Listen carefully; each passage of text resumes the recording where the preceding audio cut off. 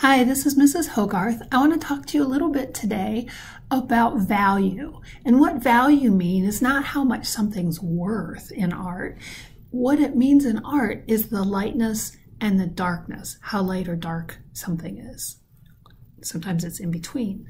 So what we're going to do today is we're going to practice what we call value scale, some boxes basically that are even steps from light to dark.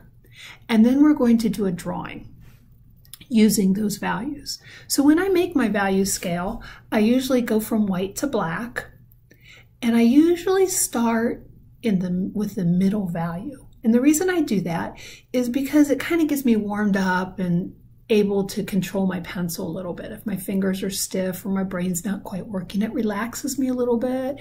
You can always lighten or darken something when you start in the middle. And you notice I just laid in one value and it's pretty light, but there's a lot of pencil lines. So what we want to do is kind of get rid of some of those pencil lines. And the way you do that is change direction. I'm going to add a layer and you notice that's getting darker and I change direction with my marks. And that kind of blends those marks together so you don't see so many pencil lines and it gives it a little more richness and a depth. The key to doing a value scale on really nice smooth values are layers. So if I lay this down again, now my next box is going to be a little darker, but you notice I'm not making it darker. I'm not pressing really hard. That will dent your paper. You don't want that.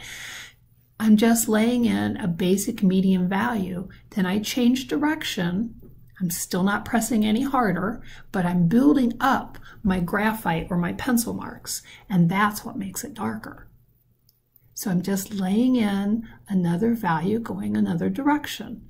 Now what you want to do is you want to control the pencil and, and your marks. So you lay in another one and I want to bring my value all the way out to the edge of each of the square. I want to make sure that I'm trying to keep the value even inside each of my sections tidy it up a little bit, and then go to the next one. But you can see that my first one is clearly lighter than the second one.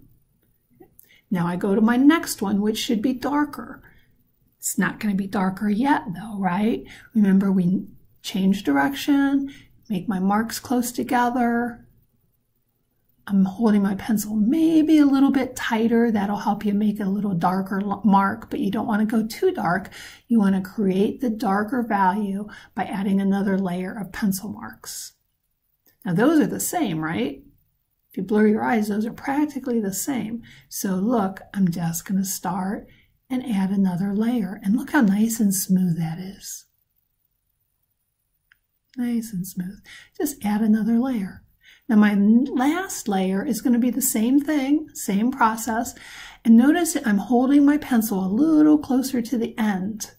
It gives me a little bit more control and I can press a little bit more. But notice I'm not starting out really dark.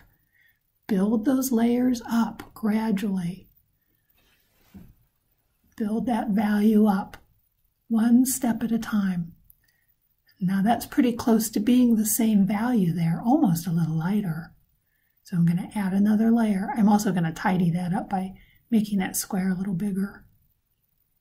Come back in, going another direction. You can go diagonal direction too. You don't have to just go horizontal and vertical. Now that's nice and rich and dark and I don't have a lot of pencil lines. So now when I go to my lighter values, I hold my pencil a little further away from the tip. And I lay in my values very lightly. So I'm going to move now to the lighter values.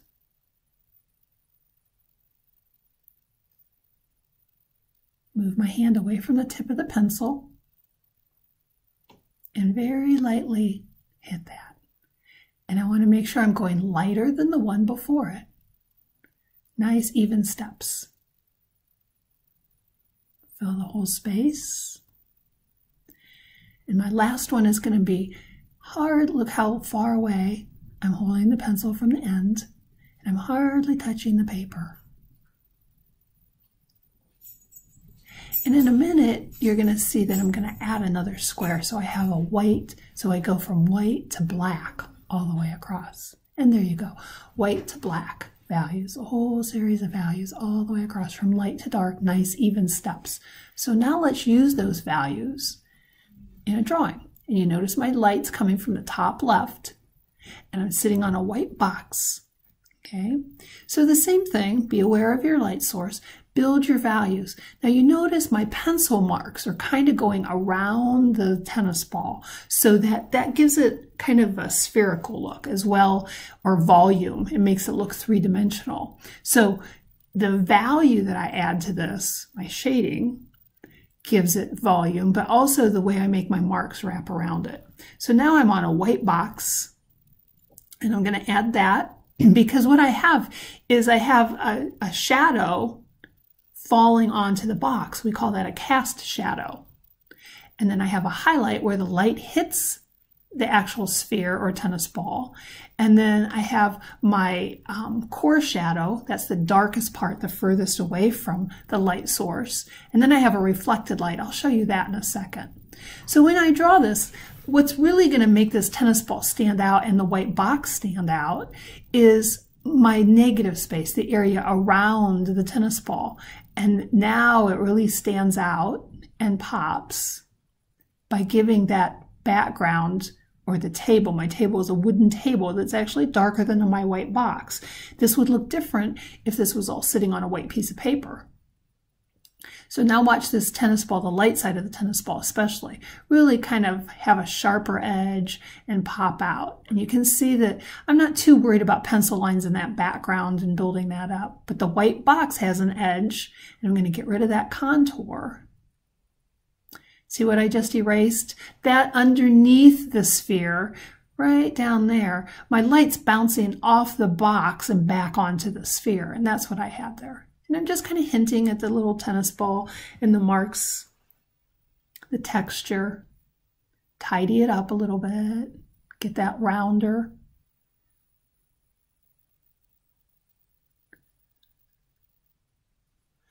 And now I've noticed, you notice I've used all of those values that we did in the value scale in my tennis ball drawing. So find something fun to draw set it on something, doesn't have to just be one thing, and, and do a value scale and then add those values to an actual object today.